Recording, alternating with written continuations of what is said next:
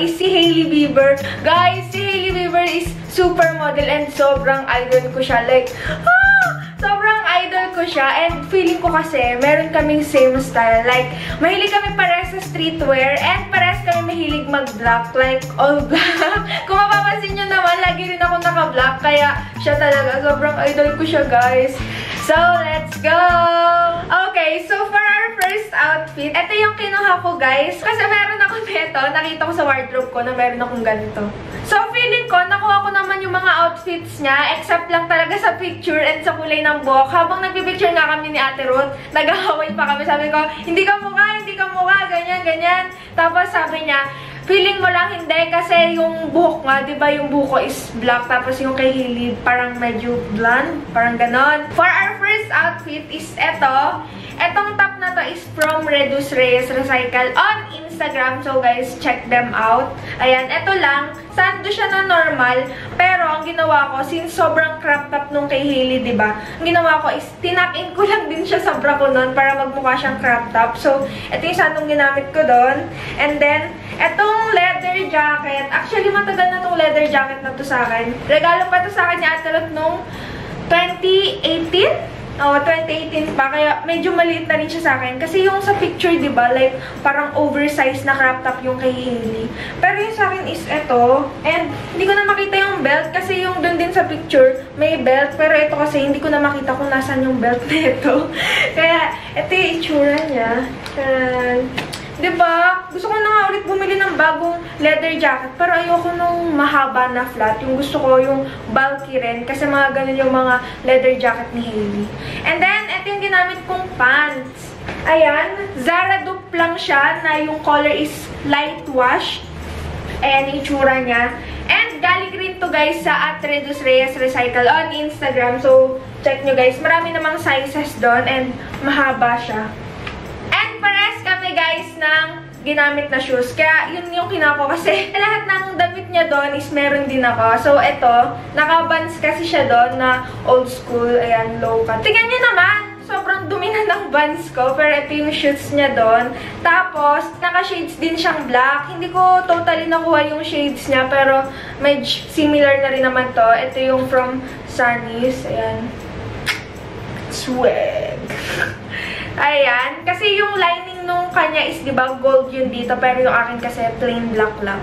So, ayan. Tapos, naka-ano na siya, yung, yung clipper. Ano tawag doon? Chuk-chak. So, yun ang para sa first outfit natin. And then, for our next outfit is eto. Yung picture na to, guys, medyo nahirapan ako nung una. Sabi ko, like, hindi ko alam saan ko kukunin yung mga damit doon. So, eto, buti na lang may nakita ko sa wardrobe ni Ate Ruth. Ang nakita ko is eto, hindi talaga ganito yung color nung coat niya doon. Pero medyo kahawig na rin naman. Medyo kamukha na rin naman yung damit niya doon. So ito yung damit ko doon. Ito yung blazer. Tapos yung color niya is parang medyo gray or beige. Sa video, mukha siyang parang beige. Pero yung totoo niyang color is parang gray. Light gray, I think. So, ayan. Oversized lang siya kasi, di ba si Hailey Bieber, mahilig siya sa mga oversized na outerwear. So, ito, and medyo mahaba din siya kasi ganun yung kay Hailey. And then, ito, yung ano, yung kanya feeling ko, totoong sando yun, or like parang bralette. Ito naman, nakita ko lang to. Medyo similar na rin naman siya. Color white, and ito yung swimsuit ni Ate Ruth. Swimsuit to guys, pinatong ko lang since pang innerwear naman siya. ba diba? Hindi masyadong halata. and then, naka-shorts siya doon feeling ko nakuha ko yung shorts doon kasi yung shorts niya, di ba, parang clean rin na nakatupi and yung color niya parang ganito, denim, denim color. Tama ba? De or denim blue. So, ayan. Zara dupe lang din siya. And eto guys, galing din to dun sa Redus Reyes Recycle sa Instagram. And then dito, medyo nahirapan ako kasi wala naman akong bag na red, tsaka shoes na may color red, like parang combat boots na may red. So, ang ginawa ko sa bag is eto na lang, etong purse ko, yung ano niya is Charles and Kit na purse. Kasi meron siya doon yung purse niya, di ba, color red. Eh, wala din akong bag na red, kaya ginawa ko na lang black. Sa shoes, naka-combat shoes kasi siya doon na color red. Eh, wala rin naman akong ganon, kaya ito na lang.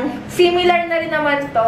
Ito yung Balenciaga na speed trainers. So, ayan. Matagal na rin to sa akin, kaya feeling ko naman kamukha na rin doon. And then, meron din siya doon suot na accessories. Ito, Ayan, yung layer necklace. Buti may nakita ko sa Shopee since medyo trendy na rin siya nowadays. Di ba yung mga gantong necklace yung layer. So, ayan.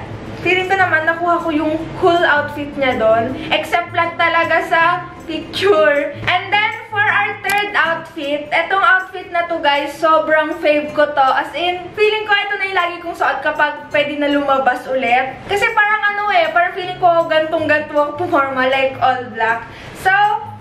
Top, medyo nahirapan ako maghanap ng ganyan. Kasi gusto ko rin ng ganyan. Kasi gusto ko rin ng ganong sando. Yung parang sobrang nipis lang. Yung naka spaghetti strap. Tapos dito, na crop top na sando naman yung akin. Pero wala akong makita. So, bali ang ginamit ko na lang is etong dress, black dress. Kasi medyo similar na rin naman siya. Pero hindi siya spaghetti strap. Ayun, medyo makapal yung ano niya. Tawag dito, yung strap niya dito. And then, Naka-black pants siya doon. Leather pants. Pero yung pants niya doon is may white na lining. Eh, wala akong makitang ganun, guys. Buti na lang meron ng ganito. Leather pants din siya. Pero, color black. Ayan. Diba? Oo, feeling ko talaga parang sobrang ako to. Kasi, di ba ganito rin ako pumorma. Like, all black. And then, meron siya dong shades na suot. Yung parang pa-square. Hindi sobrang kopya ng shades niya, pero eto, nakita ko na rin, medyo similar na rin naman siya. So, ito yung ginamit ko dun na shades, eh, di ba? Ang ganda! Sobrang nagaganda ako sa shades na to, guys. As in, ang ganda. Kasi ang kapal pa, oh. Ang kapal niya. And abangan niya pala, guys, kasi mag-shopee haul ako. Siguro sa 5.5. So, stay tuned. And then, for the shoes, guys, yung suot niya dito, di ba? Yung Air Force 1. Wala naman kaming Air Force 1 dito. So, ito na lang. Buti meron ng ganito. Medyo kahawag naman siya dun sa picture, pero hindi ito yung suot niya dun sapatos. Nagano na lang ako, Converse na Chuck Taylor. Ayan, color white. Naganap na lang ako ng sapatos na may sintas, kasi yung sapatos niya doon may sintas. So, ito na na lang yung pinantugma ko doon. Tapos, for the accessories, guys, nakaano siya di ba? Ang tawag doon, yung pack na color block na ganon. Pero guys, wala kaming ganon. So, hindi na ako nagsuot ng ganon. Tapos, meron lang siyang earrings na ganito. Yung hoop. Kasi di ba mahilig rin siya mag-hoop. So, ayan. Nakaganto lang siya for the accessories. And then, next outfit natin, guys, is ito. okay, so guys, nalobat yung camera ko kanina and then in-explain-explain ko to.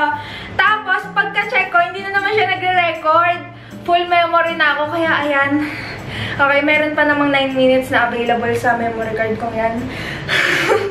ba naman to? Okay, so for our next outfit is ito. And, buti may nakita ko sa Shopee na medyo kahawig niya. Kasi, plain dress lang naman siya. Pero hindi lang siya basta plain dress. Yung dress niya may slit.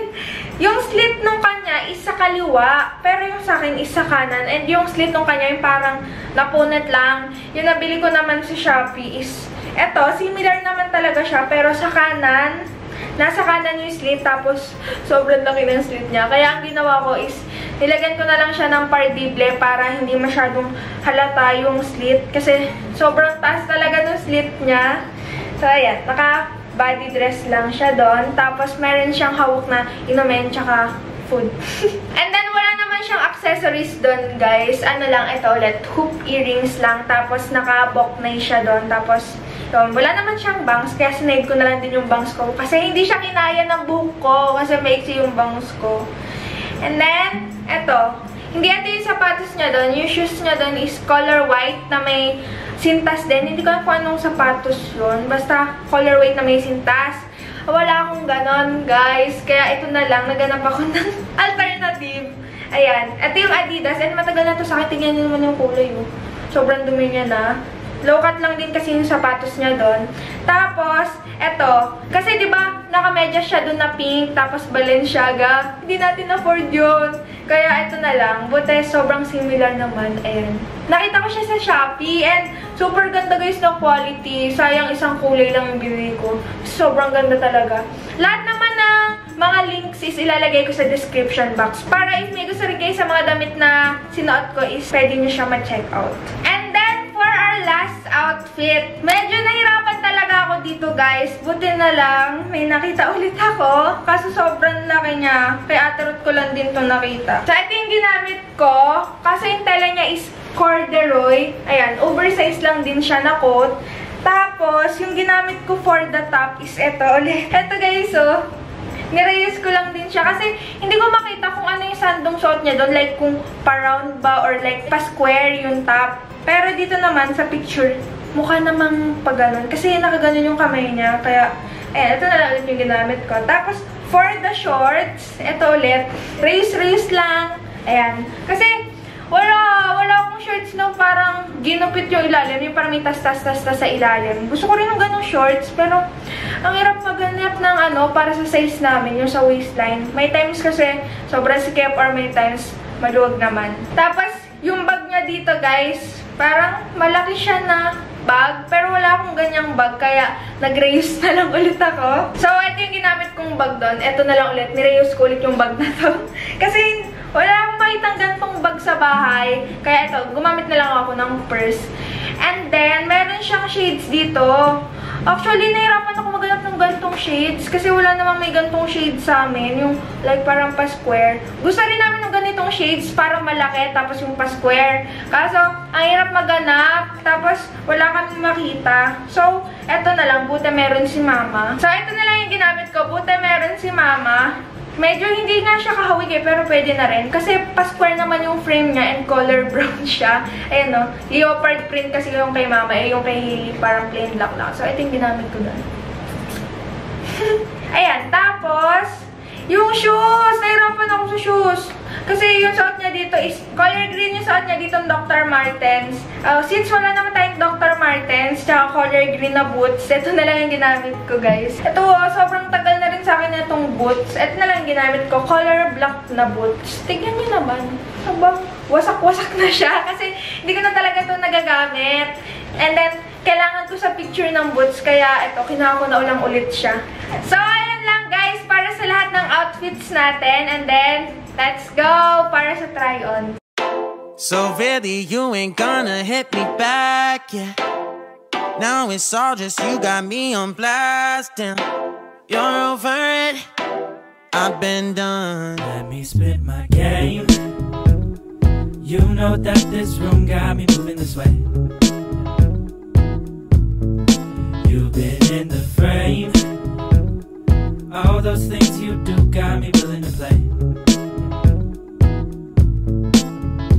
Just a few steps from the door. Watch for them bottle caps on the floor. So, comment down below guys kung sino yung gusto nyong celebrity na style steal ko din kasi baka gawing series ko na to. So, stay tuned. And I'll see you on my next one. Bye! Darling, you're the only sight to see Feels like the right time